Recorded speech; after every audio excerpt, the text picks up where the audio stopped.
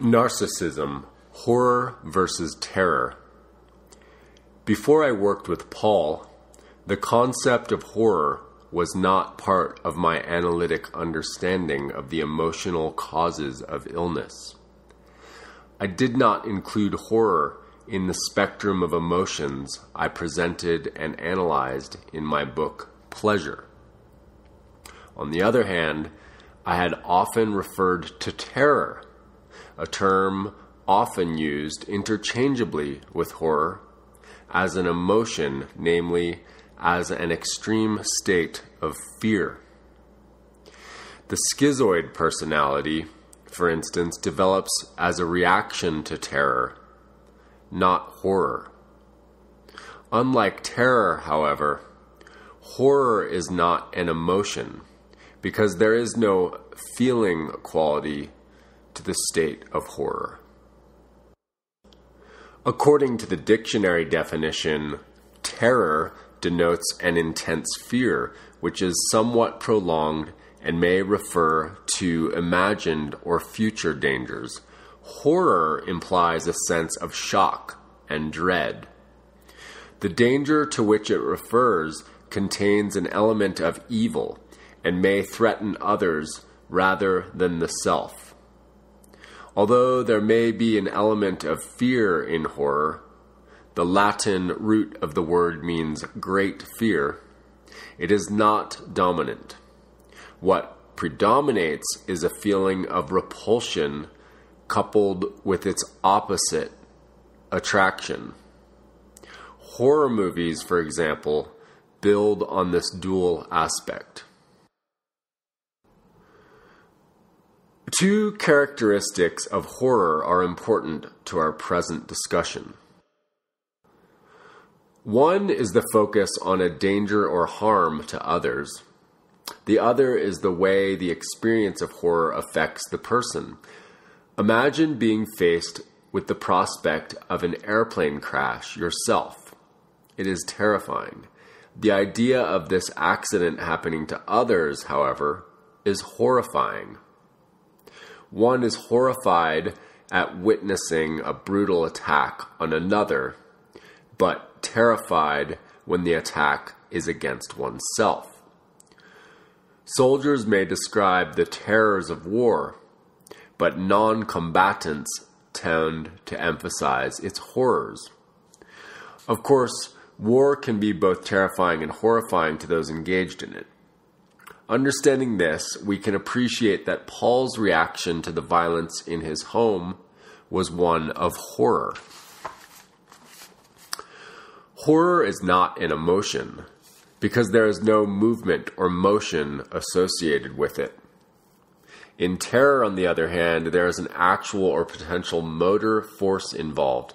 Terror is related to the Greek word trien, to flee and to the Sanskrit word trasiti. He or she trembles. Many of us have experienced the trembling or shaking that follows an escape from a dangerous accident. This is our reaction to terror at the prospect of serious injury. In horror, there is no physical reaction. According to the dictionary, the essence of horror is a sense of shock. But I don't think that, quote, shock is the right word. Terror can produce a state of shock. When a cat digs its claws or teeth into a mouse, the mouse goes into a state of shock and doesn't feel pain. We may observe that when the mouse is let go temporarily, it lies still for a moment paralyzed. If the shock passes, it attempts to escape. We say that a person is frozen with terror. In shock, blood is withdrawn from the surface of the body, paralyzing the voluntary musculature. As a result, the person becomes pale and often falls down in a faint. In the Florida Everglades, I once saw an alligator with a bird in its mouth. The bird was alive and conscious, but it was motionless. It did not struggle to get free. Of course, it couldn't escape, and a moment later the alligator submerged and drowned the bird. I am sure the bird felt no pain because shock numbs the body. It acts as a local anesthetic. In horror, in contrast to terror, the body is relatively unaffected, for there is no threat of physical danger. The effect of horror is primarily on the mind. Horror stuns the mind, it paralyzes the mental apparatus, as terror paralyzes the physical apparatus. One may walk away from a scene of horror seemingly unaffected physically, but one may be incapable of thinking about anything but the horror one has just witnessed.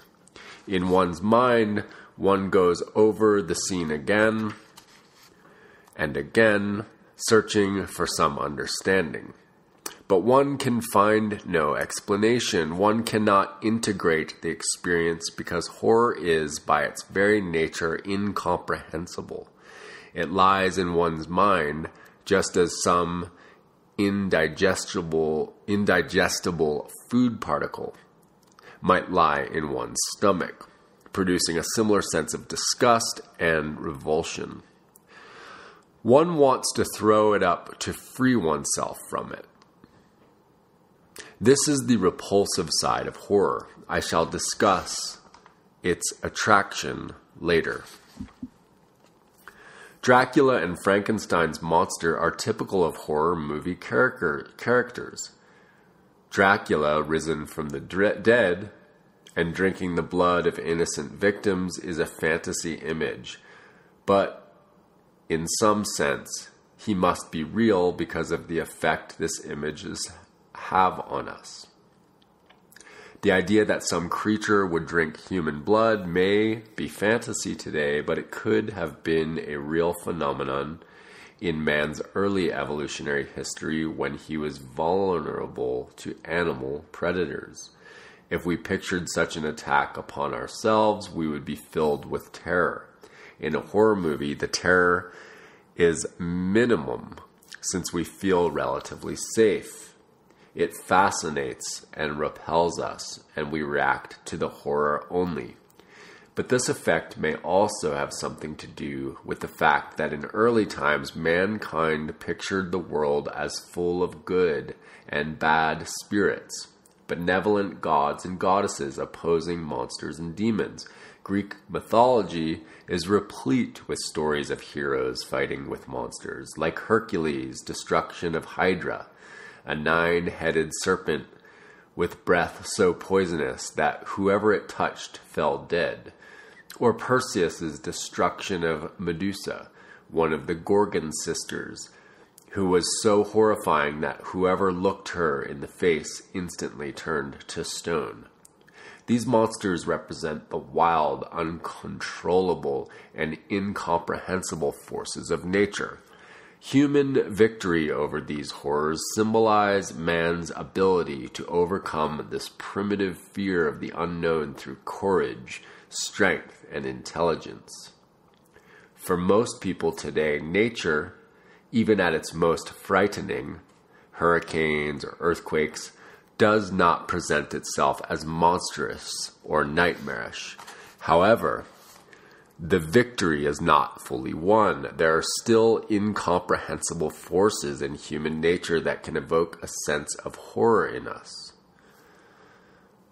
Dracula and Frankenstein's monster are human like monsters. Unfortunately, there are human monsters too. Hitler, for example, was seen as a monster by many people, and pictures of the Nazi concentration camps still evoke a sense of horror in us.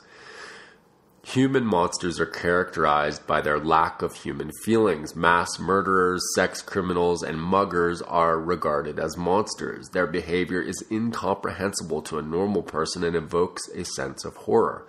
An all too common example is the feeling is the following. A mother walking with her six year old son on the streets of New York City was mugged and brutally beaten. The little boy looked on in horror but he seemed untouched. His mind, as I imagine it, could only think, No, it's impossible. It shouldn't be happening. Why? I don't understand it. He saw the muggers as monsters. Horror is not the only reaction to an incomprehensible event. Awe is another possible reaction.